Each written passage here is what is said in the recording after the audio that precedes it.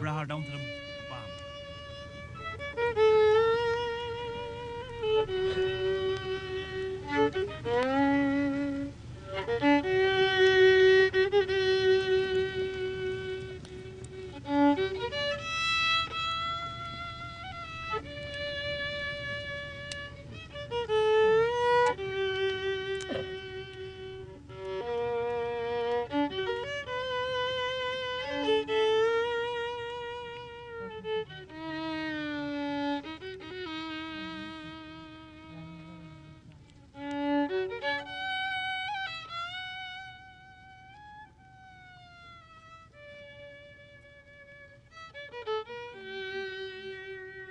My husband died, you know, three years ago.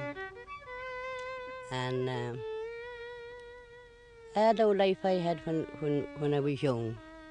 It was a hard old life, terrible hard old life, because we had nothing, nothing in nursing care. And in my own family used to be up in the nursing care going down the road and I'd walk behind it. Actually, we go out, and we put up the camp on the side of the road.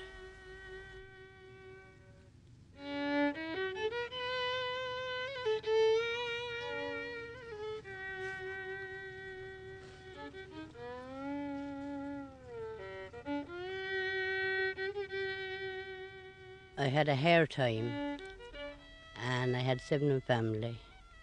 I got on all right and I never was sick I never drank much doctor's medicine. I'm 70 now and all my family is done for. And I done the best I could for them.